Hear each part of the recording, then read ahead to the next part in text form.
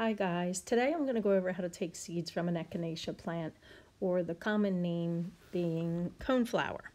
This flower is great to attract pollinators. Um, I like it because you can get colors that aren't your normal colors in your garden and they just kind of pop.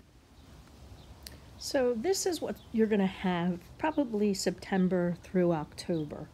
Most of mine are dried up these are very dry, and that's when you want to pick them, when they're really dry and black.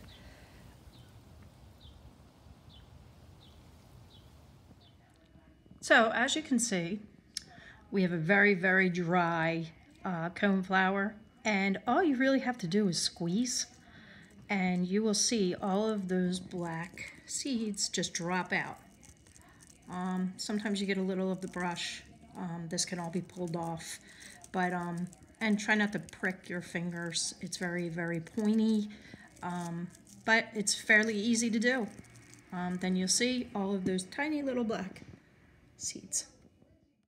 So this plant will self-seed and drop seeds um, for you the next year, or you can take them off, like I just showed you, and sprinkle some in areas that you need um, to have more color.